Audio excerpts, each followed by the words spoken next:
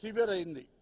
అప్పుడు అయిన తర్వాత తెలిసి అప్పుడు భారతి మేడం గారు ఆ సీఎం గారు వాళ్ళే హాస్పిటల్కి ఫోన్ చేసి AIG hospital chairman Nageshwara Reddy గారు డాక్టర్ నాగేశ్వర రెడ్డి గారితో చెప్పి వాళ్ళు మనకు బాగా తెలిసిన వాళ్ళండి. నలుగురు ఒకసారి కరోనా వచ్చింది కొద్దిగా కేర్ తీసుకోండి అని చెప్పారు.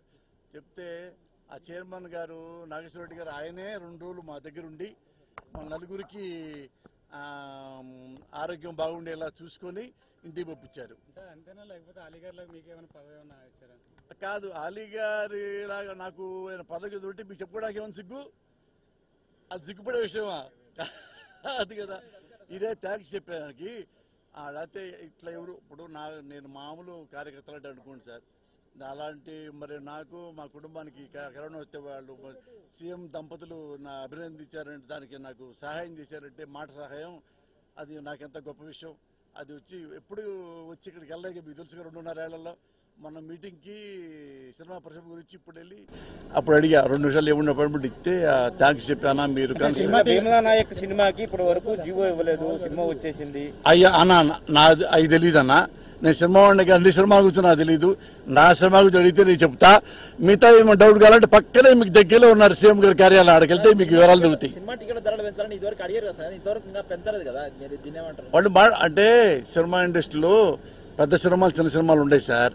వాళ్ళందరూ కలిపి మాట్లాడుకుంటున్నారు. వాళ్ళందరూ మాట్లాడుకొని ఒక ఒక లెక్కకు వచ్చిన తర్వాత ఇక్కడికి వస్తా అన్నారు. కమిటీ నివేదిక కూడా ఇచ్చేసింది ఆల్రెడీ గవర్నమెంట్ మీరు ఇవ్వచ్చు అది ఇవ్వాలి కదా. మరి మా చిన్న నిర్మాతలకు ఏం కావాలో పెద్దలకు ఏం కావాలో చెప్పారు. చిన్నాళ్ళు పెద్దలు కలుపుకొని మొన్న మీటింగ్ వేసుకున్నారు కదా ఛాంబర్లో. అవన్నీ మాట్లాడుకొని ఏదైతే ఇండస్ట్రీ బాగుంటది అని ఆ లెక్కతో వస్తారు ఇక్కడికి.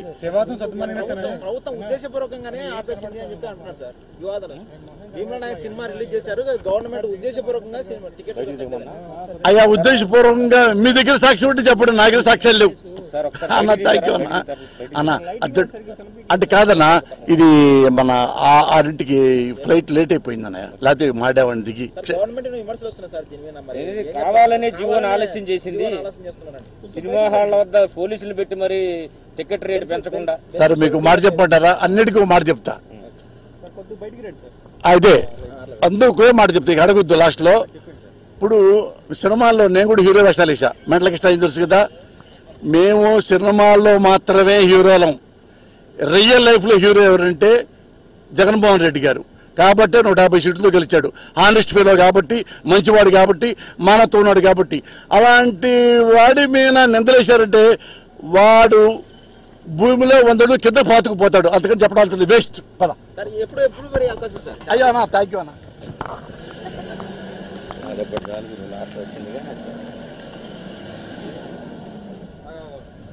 ఆగి సార్ ఆగన్నా ఆగా.